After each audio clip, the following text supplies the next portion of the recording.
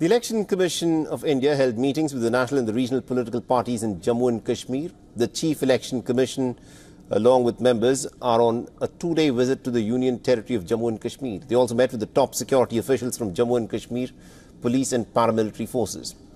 All the major political parties that met with the Chief Election Commissioner were hopeful that elections will finally be held in the Union Territory as soon as possible.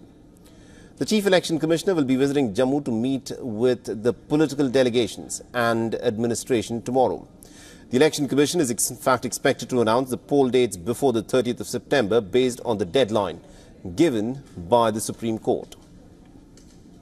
We have always been hopeful and this time also we are hopeful. Election Commission has assured us that this will uh, now be completed because they said there were certain things which they had to complete uh, which they are now totally in place. They said by uh, November, December last year, 23, those reservation issues were complete. Other things had to be done on the election commission basis. They have been completed and now I don't see any reason for not conducting them. Now, on the 9th of August, the Election Commission team will be meeting with the top officials, including the Chief Secretary and Director General of the Police, before heading to Jammu for further discussions with enforcement agencies and to hold a press conference. Now, Jammu and Kashmir will witness elections after a gap of nearly about 10 years, as the last assembly elections were held way back in 2014. That's 10 years ago. And our special correspondent Idris Lone has been tracking the story very closely for us and has sent us this report from Srinagar.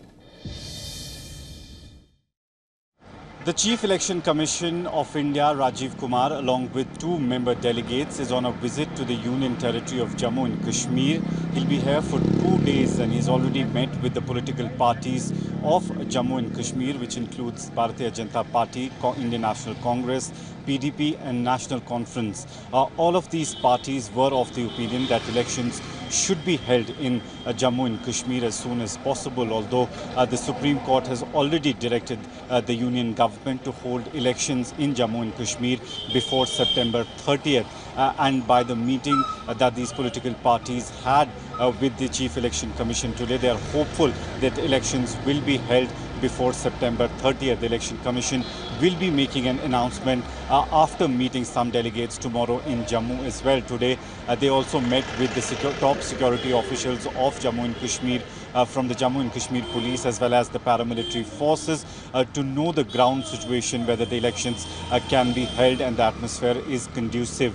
Uh, the Election Commission will be uh, uh, giving a press conference tomorrow in Jammu in which most likely they'll be announcing the dates for the upcoming assembly elections. With video journalist Feroz Idris Lone for WION World is One. For all the latest news, download the WION app and subscribe to our YouTube channel.